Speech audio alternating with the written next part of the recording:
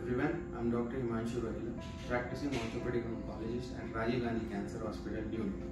I specialize in treatment of bone and soft tissue sarcomas.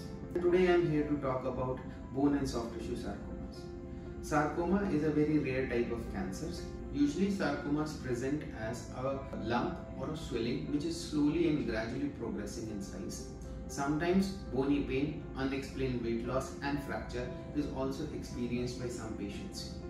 Uh, early diagnosis before the cancer has spread to different part uh, can uh, offer a cure in nearly 70 to 80 percent. So seeking the right treatment and early the stage of the disease is the only best chance to cure this disease.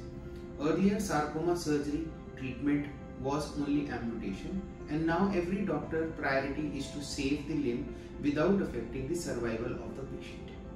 At Rajiv Gandhi Cancer Hospital, we specialize in state-of-art newer technologies like robotic surgery, computer-assisted navigation surgeries, 3D printing and cryosurgery with the use of liquid nitrogen. At Rajiv Gandhi, our priority is to save all the limbs without affecting the survival in a sarcoma patient. I once again wish everyone to stay healthy, eat fresh and follow strict COVID guidelines. Thank you.